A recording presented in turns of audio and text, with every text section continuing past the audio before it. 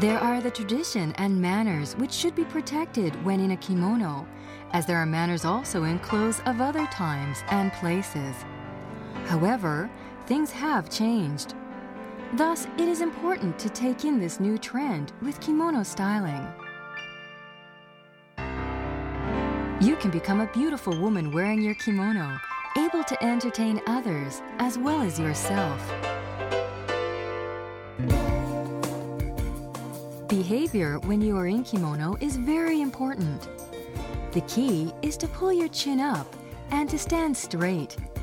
If your back is hunched over or you draw yourself up too much, it doesn't look good in kimono. Take a deep breath and be relaxed in your kimono.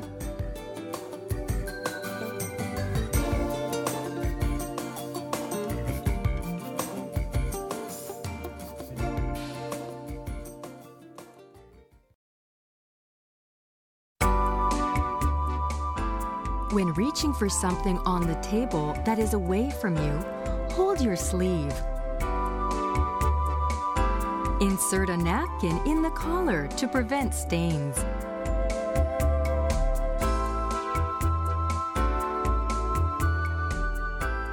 Also, get closer to the table to eat neatly.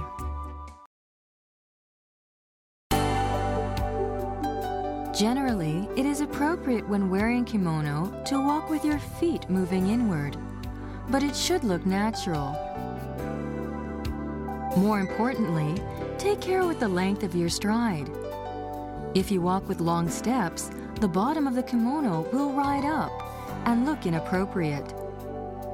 You should walk with small steps. You walk slower than usual in kimono, so if you go out in kimono, it is a good idea to leave your home earlier than usual.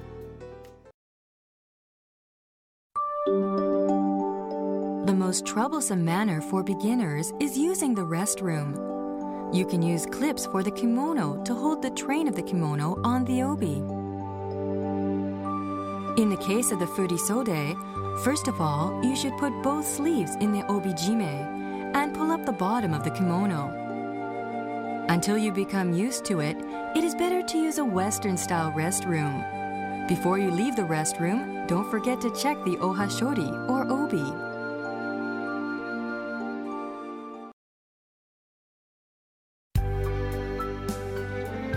A cue to take stairs is to raise the heel of the back foot a little bit. If you leave the back foot alone, people behind you can see your calf, which is considered to be impolite. You should put your right hand on the uwamae so the bottom of the kimono can be kept neat.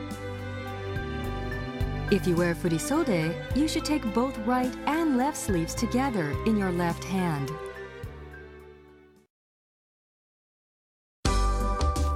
There are some techniques to getting in and out of a car.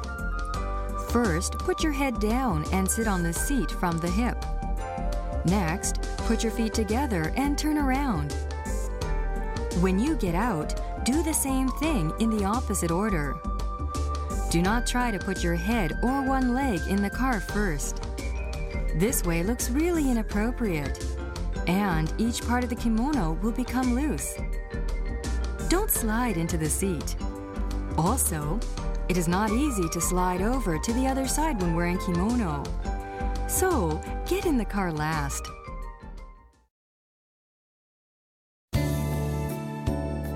When you sit on a chair, you stand in front of it first.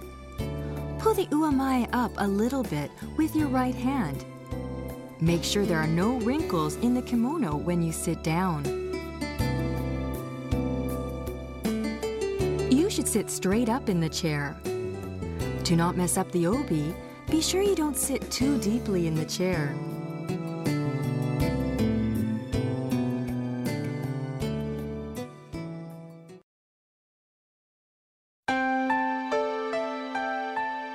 When you pick something up, you should stand near it and slowly pick it up. Be sure the uwamae does not touch the ground. Hold your sleeve and pick it up by hand. This manner looks very elegant. You should not pick something up just by standing still and bending down.